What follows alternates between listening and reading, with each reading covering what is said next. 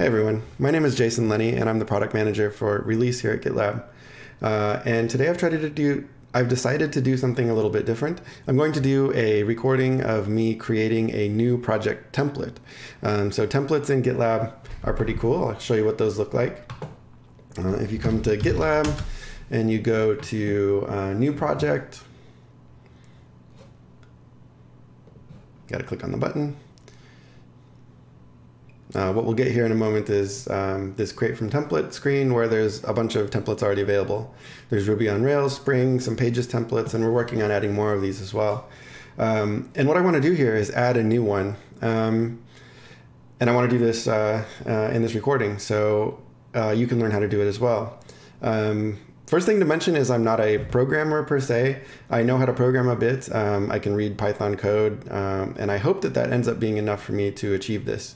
Um, that's why I'm not doing it as a live stream, just in case I get stuck somewhere from not really knowing Python or Django. Um, but if you actually know the framework that you're implementing uh, as a template, then you're gonna, it's gonna be even easier for me, for you than what you see here. Um, so uh, the first thing to do is to create a new project um, that we can use for uh, implementing the, um, the actual Django template that will be pulled in. Um, so there's really two parts to this process. There's creating the template that serves as the record um, or the, the thing that's imported into, into projects. Uh, and then there's also um, the boilerplate uh, that needs to go into GitLab, which is pretty simple, but, um, but I'll show you that part later. Um, so the first thing I'm going to do is create a private project uh, of my own, uh, just empty. Um, Yep, so building it in JSON, we'll call it, um, I'll just call it Django. Um, a simple template to help get you started with GitLab and Django. Um, public is fine. Let's initialize it with a README. Great. Uh, and so, so this is good to go. Now, what needs to be in here is some, a README with some instructions for sure, but also this should be in the state that a new project should be in. Um, so maybe the easiest way to think about that is the output of creating a new project, adding the GitLab CI YAML. Um, that's what needs to go in here. And then what your user is going to experience is when they go through that new project dialog and import the project, um, it's going to be in this state. It'll be a copy of this. It won't be a fork, but it will just be a copy. Um, so let's go over to the Django documents and see what we can um, what we can do here. So writing your first Django app. Looks like um, we're going to need Python. Let's see if I've got Python installed. Um, let's see. Terminal. What's going to be the best way to do this? I think probably using um, VS Code is going to be easiest for the moment, although, or maybe WSL. Yeah, let's uh, let's go ahead and bring up uh, my WSL terminal here, uh, and let's see if I've got Python on it. Okay, great. We do. And see, you can see I'm not exactly familiar with Python, so I'm not cheating in this thing. um, let's see, Python m Django version. New module named Django. Okay. Um, so how to install Django?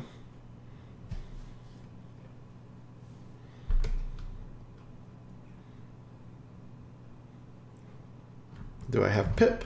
Let's see. I do not. Let's get pip. um, installation.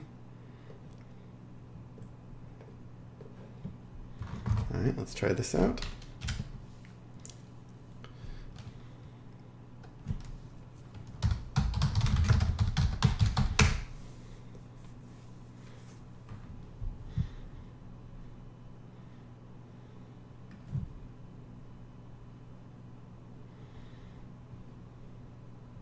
Hmm, it looks like we're using an older version of Python.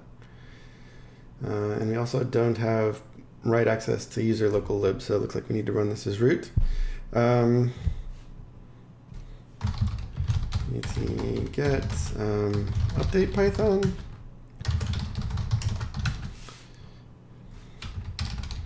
It's probably just the version of um, Python that's on Ubuntu here.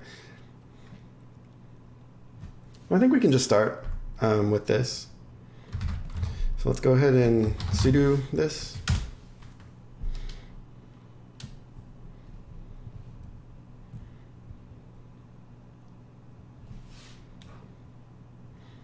I'll try not to create too many tabs here, but usually when I'm working on stuff like this, I end up creating 100 tabs, but I'm going to try and keep things as simple as possible. Okay, so it looks like we've installed pip. Um, so now we want to pip install Django.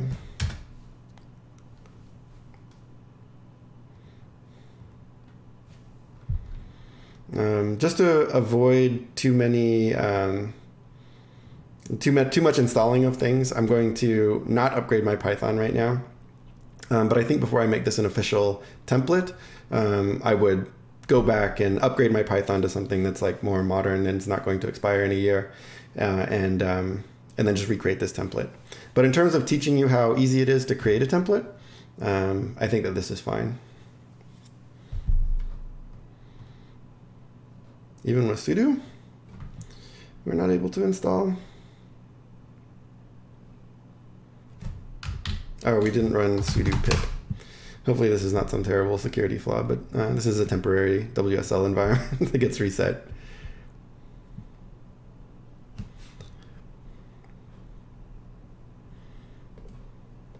Let's go back here and see what our next step is going to be.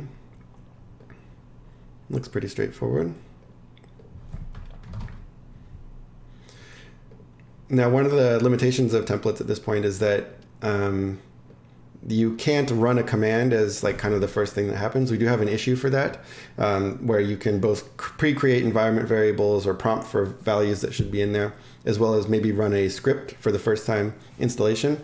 So the way you do this for now is just go ahead and get your repository in the state that you want it. Um, and then, uh, so basically what I'm saying is that you want to run this command and then check in the results of this command and then add instructions for how the uh, end user needs to modify it.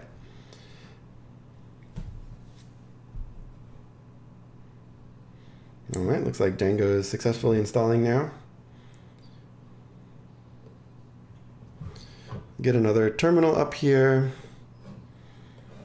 Um, our template, and then we'll just use this as our working folder. Um, and what I'm going to do is clone uh, that repo that I just created. Yes, here.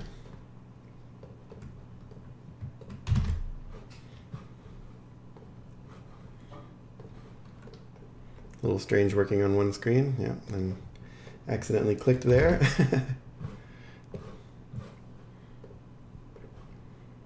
okay. Let's go ahead and grab that repo. And then this will be the working folder that we use. Um, so this will be a folder called Django. And yeah, we just have our generic MD, uh, readme.md in here. Uh, so it looks like Django's installed. Do I have the... Okay. Note that only Django core commands are listed as settings are not properly configured. Installed apps, but settings are not configured. You must define the environment variable. Hmm. Uh, maybe that's going to be explained to us shortly. Or maybe it's just not relevant to this command. Um, so let's go ahead and start a, this will create a my site directory in your current directory. Um, let's call it um, Django template, just so that um, when people are now going to have to edit this project, they'll be able to, ah, underscore then. All right, uh, because they're gonna have to edit this stuff. Um, all right, so we've created a website. Let's see what we ended up with. Wow, a lot of stuff. Oh, that because that's because of the git the git files. All right, so it looks like there's some description here of what these files are. I'm not going to worry about that too much at this point. Change into the my site directory and run the command. Um, all right, so we call this Django templates, um, Python manage.py, run server.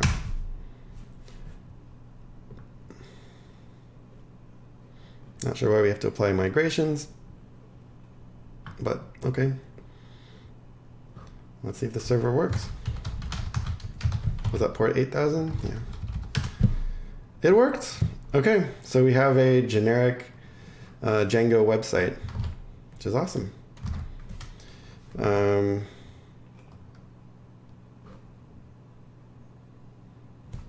maybe we should just go ahead and run these migrations. I don't know why it would create a template in a state that uh, doesn't work. And the database, is that file intended to be checked in? Um, let's look for a Django dot git and see what kinds of things are put in here. Okay, yeah, so that db.sqlite file is intended to be excluded. Um, let's go ahead and add this. Not here though. Or no, actually it would go in there. Plus cat into it. It's a bit easier for a file like this. Okay. Git status. All right. Git add dots. Git um, commit. Uh, initial commit of working site. Git push.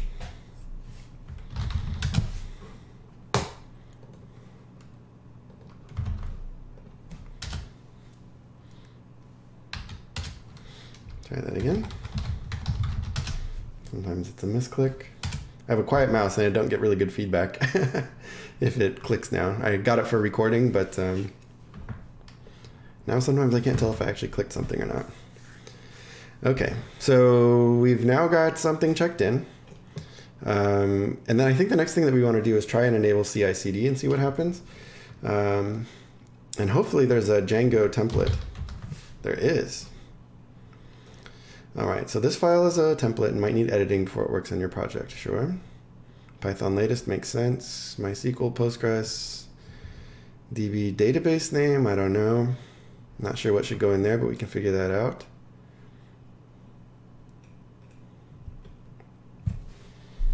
Hmm. Don't know about the database. Um, I don't think we would honestly have one at this point, um, but let's see um, initial uh, dot gitlab ci dot yaml. And then let's see, let's just see what happens. So we should see a pipeline run now.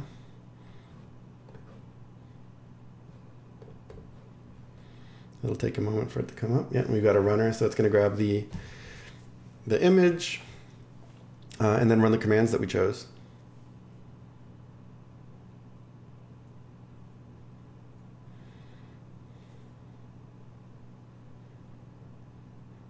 In the meantime, what we can do is start working on uh, boilerplates.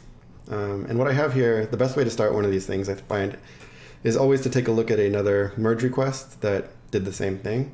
There's just a few places where you need to actually add files. So to give a tour of them, there's a project new JS file uh, where you, you, just define a couple things here. A changelog file, which is GitLab specific, but we'll uh, get into that. Um, project templates is where the project template is defined there's a spec that uh, I'll come back to the pot file.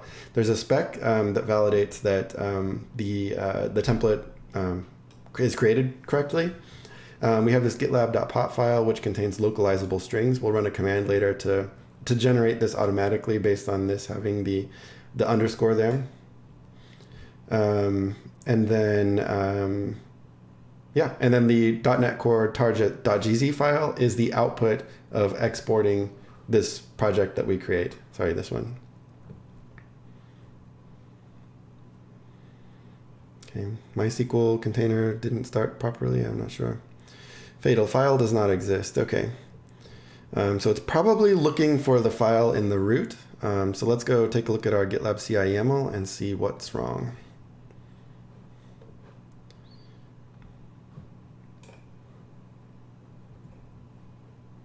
Yeah, so um, I think what we want to do is just modify our before script uh, to change into the directory that has our site. So.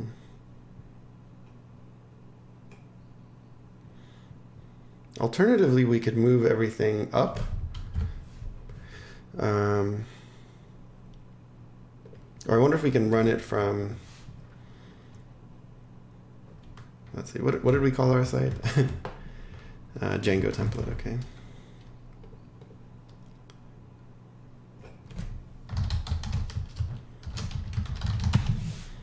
Let's try it this way. Um, point to uh, Django template folder for manage.py.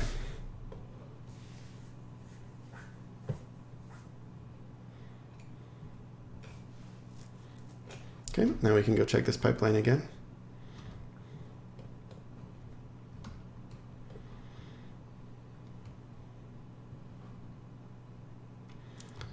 I suppose that since Django has a um, it's interpreted language, there's no real build step like there might be in other projects. So the, te the testing is the main thing that's being accomplished by CI.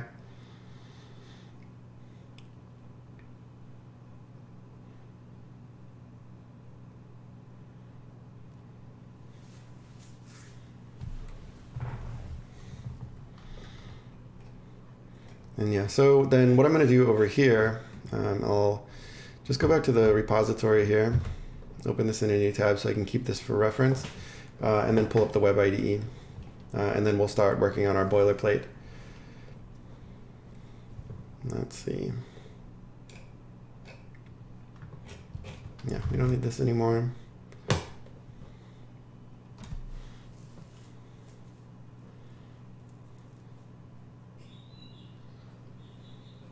We don't have a database, so this is probably expected.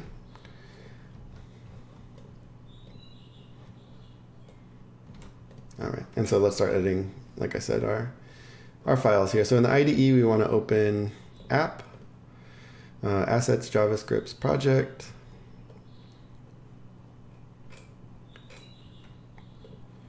uh, and then project new.js. And take a look at our list here of different templates and we're just going to add one. Um, so maybe just take this Spring one uh, and add one called Django.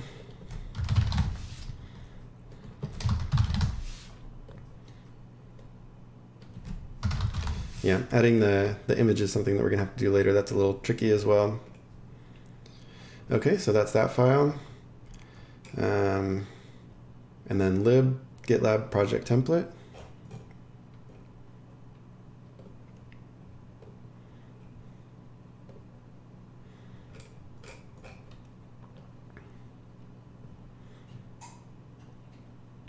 project template.rb. Then we'll find a similar sort of thing and we'll just put it in the same spot. So we'll call this Django. Um, the description. Uh, so a ready-made Django template for use with GitLab. Um, and then this file is what we're going to have to add to get the image to work, but I can pick what the name will be. Um, project templates slash, okay. Spring illustrations, logos, spring dot. Oh, sorry. This is the path to the um, where we're eventually going to put the um, uh, put the project template once it's final, um, and then this is the illustration path. So we'll just call this the Django SVG, uh, and I'll have to add that image to a different project in a moment. Um, GitLab.pot will be generated. Uh, yes, and then we need to update the spec as well. Um, basically to have this same information so that when it validates the code, um, it works. So it's in the same folder, just underneath spec, spec, uh, lib, GitLab, and then project template again. It's a little bit different, um, and again, we put it after Express, so I'll just put it in the same place. Okay, so, and then this is now described class dot new. Uh, it doesn't need this anymore. Technically, neither does this one, but I'm not gonna, I'll fix that in a different issue. It doesn't cause a problem, but, uh, okay. Uh, and then, the, so the next thing that we need is our working template export. Let's see what happened. Okay. Could not open requirements text. So I suppose what's happening is that we need to be in that directory. So let's see. Go back to our repo. GitLab CI YAML. Um, and then in our before script, um, yeah, let's, the first thing we do, let's change into the uh, Django template folder. Now we don't need to do this or or worry about what folder that we're in the wrong folder in the other case. So uh, change in all jobs to the Django template folder. Okay, and then hopefully we get a good run this time. It should, the test should pass. Maybe it would be good to, to just kind of go run over here and uh, go into the Django template folder and then it was uh, python manage.py uh, test, I think. Let's just see successful outfit output. Yeah, so very, very simple, not much there.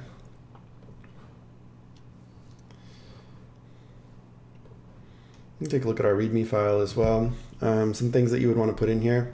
I think um, probably link to this tutorial. Um, this, uh, so instructions. This template is based on the tutorial at this link. Um, you will want to change the um, Django template site name to match whatever you prefer. Um, and then normally I would list out the different locations that you would want to do that. Uh, but since this is just a sample, uh, this isn't going to be a real one um, because I'm going to go update my Python version before I do anything here. Um, I'll just leave this kind of as a, uh, giving you a sense of what um, of what this might include. And then, so add instructions to README. That's fine. Uh, and then let's go check on our pipeline.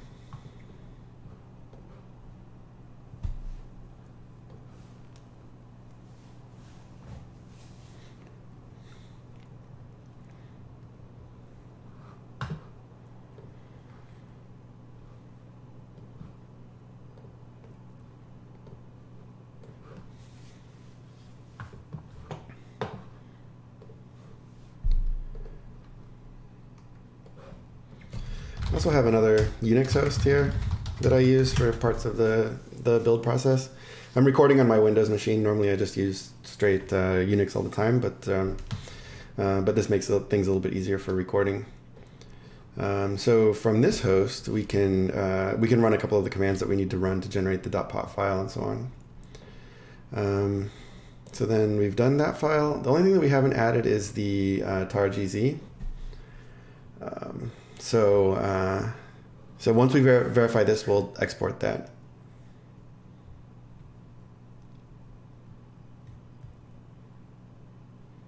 There is an additional step when you export the project to strip all of the previously run pipelines, issues, and things like that out. Um, GitLab will take care of that for you. You don't have to worry about that. Uh, we want to make that easier to use, uh, but at the moment it's a little bit complicated. Um, so uh, feel free to just you know, point us to your project and we can we can handle this uh, export part for you. Okay, fatal file does not exist. It looks like that's allowed. Uh, maybe not. Um, okay, so what's happening here? Checking cache for default. File does not exist. Failed to extract cache. pip install -r requirements.txt. Let's see where all these different files are that it's talking about. Maybe I've Okay, there is no requirements.txt. Um, so maybe that's something that you can add if you are then depending on uh, other things, but let's take a look.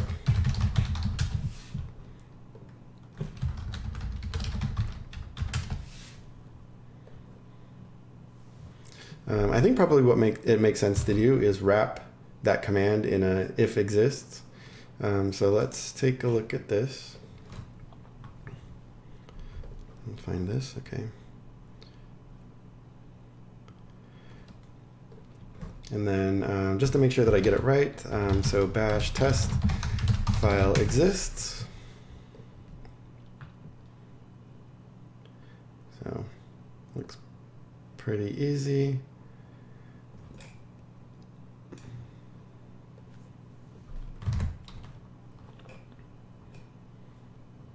Is there a one-liner version?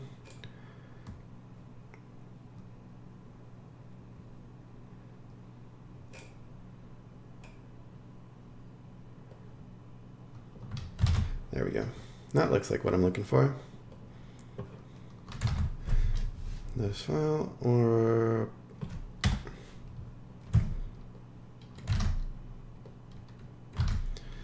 Okay, so now we'll only run that command in case of um, the requirements.txt file actually existing. So,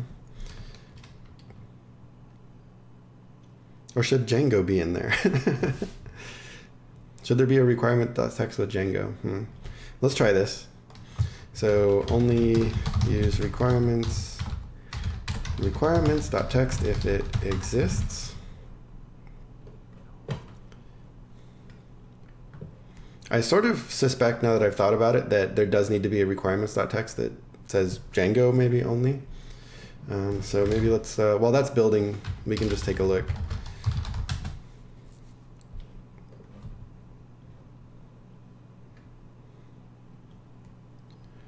Hmm.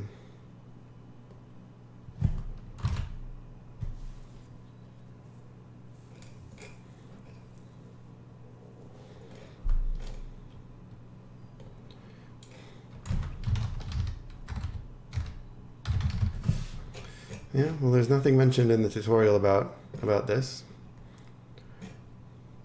That's okay. We'll figure it out. The joys of setting up a new framework. Um, we can pull up our so Django 111.20. Um, so right. Okay. Um, yeah, let's see what see what this thing is doing. Pipelines.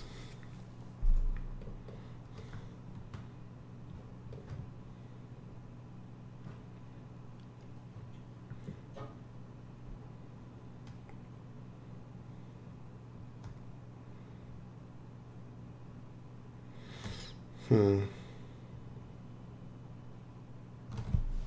That's a way newer version of Python okay. Let's go back here. Let's make a requirements.txt that points to uh, to Django.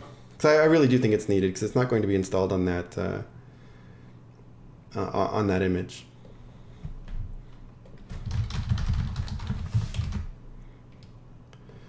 Uh, and let's take a look at here. Django equals equals equals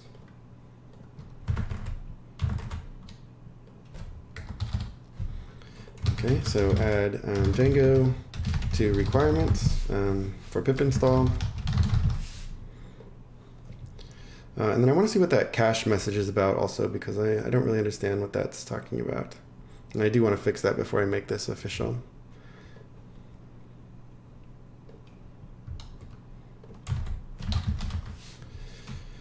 This folder is cached between builds. Um, Okay, the pip cache. So maybe that's just failing because it's the first run. Um, in which case I think that that's okay. Let's just take a quick look at this documentation. I don't know if we need to make that folder.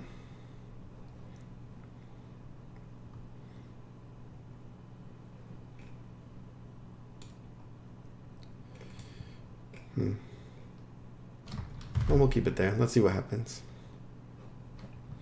So cancel this and go take a look at our pipeline. let's see if we can install Django this time, which would, I think, be a good sign. uh,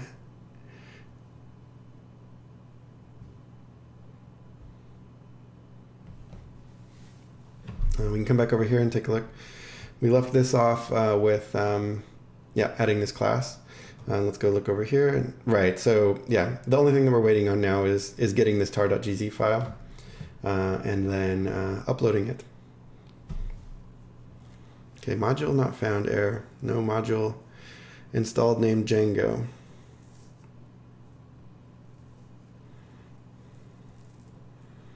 But, okay, so maybe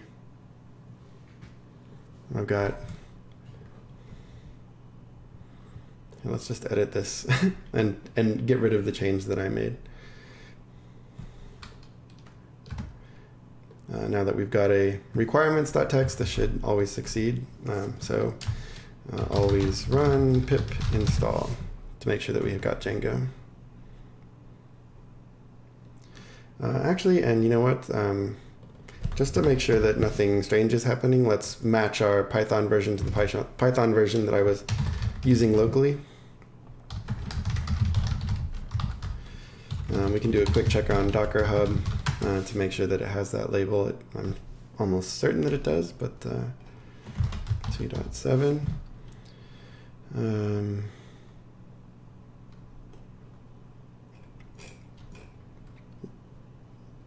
yeah, there's a 2.7 label, so uh, we will we will use that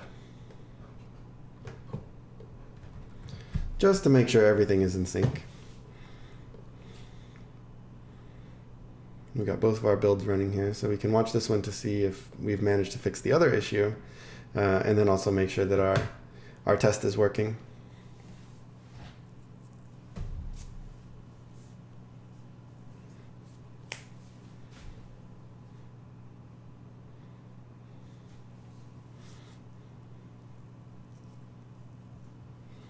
Yeah. Failed to extract cache, but uh, that's okay. Aha! It looks like we were installing something and we ran the test. Okay, so this is our build that was running on uh, Python 3.7, um, which, um, which did succeed, but um, I think that we want to validate that it runs on 2.7 since that's actually what we created the template for.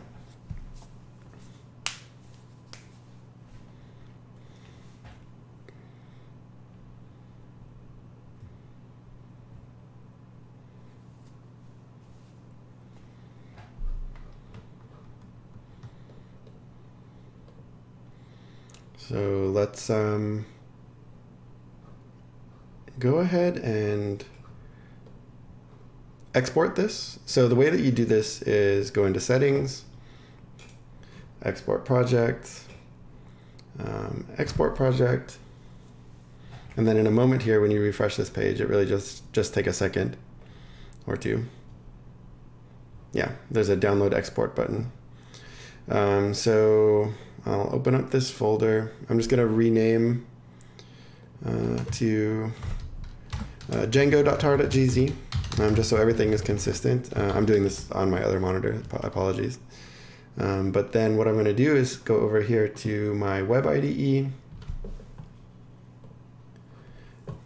and then go into the uh, vendor folder, uh, vendor project templates, and then in here you can see all of the other templates.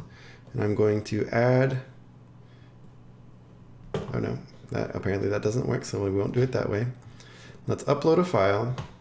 Oh, these are personal files and uh, desktop. Uh, and then all I'm doing here is selecting the, um, uh, oh, sorry, it's in my downloads folder. And then I'm selecting the django.tar.gz file. Um, Okay, I don't think that that's right. Um, so let's get rid of that. Make sure that that's not in our. Yeah. Okay. So uh, we'll we'll commit that uh, elsewhere. Um, let's do that commit from um, from the command line. So let's go into here, git pull, um, just to pick up all of our latest changes. Oh, sorry, this is the wrong image. So where I want to add this is um, on my C drive, um, code, GitLab C, GitLab folder.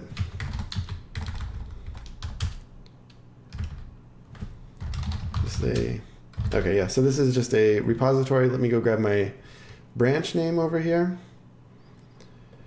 Um, okay, let's go ahead and let's go ahead and commit these changes here uh, to the boilerplate. Um, the commit message is add boilerplate for Django template. stage and commit. And then let's head back into our the project. Um, so gitlab.com slash gitlab.org, gitlab CE. And let's make a merge request for our new branch. Um, we'll leave all the defaults for now. That's fine. I can edit those later. Uh, what I want to get here is the uh, the name of the branch, um, so that from the command line, I can do a git pull, and then I can check out that branch.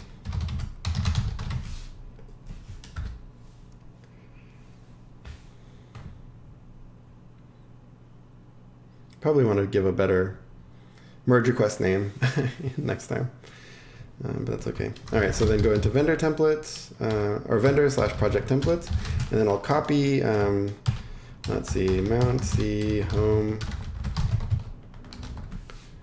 Uh, it's users, my personal user account, downloads slash Django dot tar dot gz dot. Um, git add dot git commit dash m uh, initial Django template content. Git push.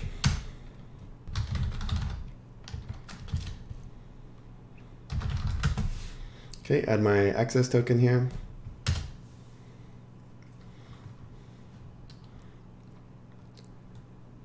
And then we should get that file uploaded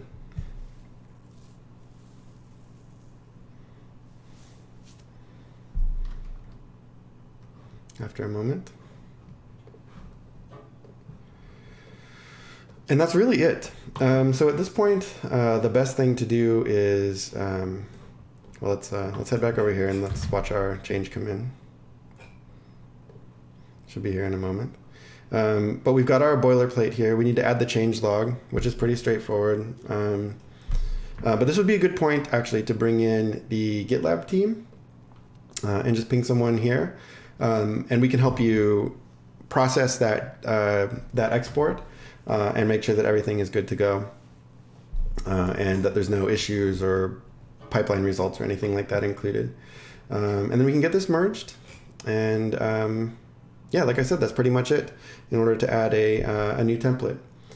Uh, the hardest part was for sure uh, figuring out the Django specific details. But if you're creating a project uh, a project template for something that you're very familiar with, you're going to be able to do a better than I did. You'll probably use the right uh, language version and things like that. Um, but adding this boilerplate uh, and getting your project created and exported is pretty simple, uh, and you could probably do it in an hour um, and, and have the quality be much nicer. So uh, I think I'll end the video here. Um, I apologize. I had you probably noticed there was an edit at one point, but it was because um, something confidential appeared on the screen, um, and uh, there was no other content missed uh, but uh, yeah, if you have any questions, feel free to reach out. I would love to chat about it, uh, and I can. I'd be happy to help you also create another template. Um, so just let me know. Thanks for watching.